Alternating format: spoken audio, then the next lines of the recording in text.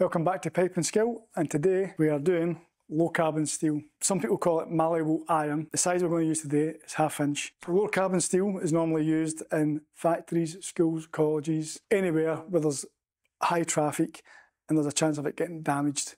Low carbon steel is probably one of the cheapest materials that plumbers use to buy. One of the materials that's a lot harder to work with because of the cutting and threading involved in it and the bending it leaves a lot more sort of heavy duty uh, tools. With most plumbing sort of materials, we can have a wide range of fittings we can use, and there's probably just a bit more on low carbon steel because it is more difficult to work with. We've got three quarter inch elbow next to the half inch elbow, and the big long one that looks like a half inch elbow, but it's a longer sweep on it.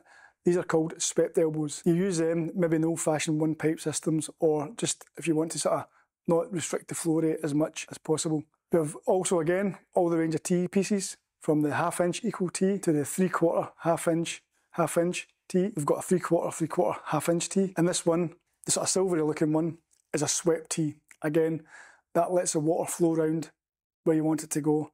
If I was going in that direction with the flow rate, I wouldn't put the swept T facing that way. It would be pushing the water back upstream. So when you're using a swept T, you always try and put it on the same sort of direction as the flow rate you want it to go. And this is like a knuckle T piece, so they're slightly different.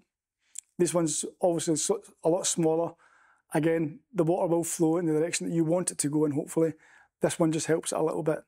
Now this one's more silvery than that one is because this one's been galvanised, which means any sort of potable water, wholesome water that you're using, you would always try and fit the galvanised T-pieces or elbows or even pipe. We've also got a range of straight couplings, We've got these ones here are called barrel nipples.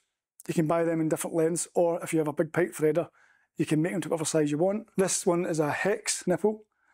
We've got a next a sort of hex nut on it. That means it just means it's easier for us to tighten or to hold on to or to grip. We have caps.